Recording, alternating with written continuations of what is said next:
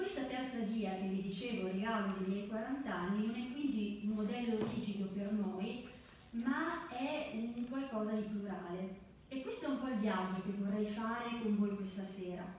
Un viaggio tra le immagini, perché forse più che di ricette buone per tutte le stagioni abbiamo bisogno anche di questo, di quello che ci nutre e alimenta la qualità dei nostri gesti ricordando in primo luogo anche a me che l'immagine non è qualcosa che si vede, ma un modo di vedere.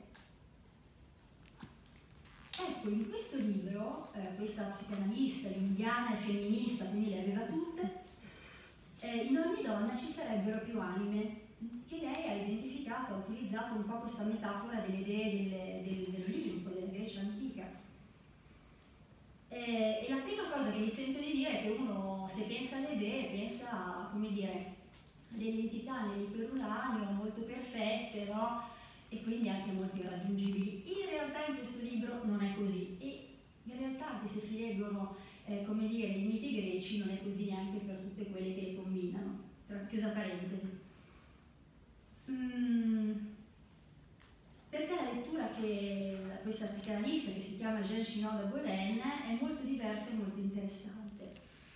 E vi propongo tre diversi modelli di idee, eh? calma, non troppe, che spero possano interessarvi. Eh, tra i diversi modelli, dicevo, troviamo quello di una dea importante ma eh, forse meno conosciuta, eh? non so quanti di voi l'abbiano sentita nominare, si chiama Estia eh, Estia che poi per i, per i, romani è diventata Vesta, quindi le vestali, mm?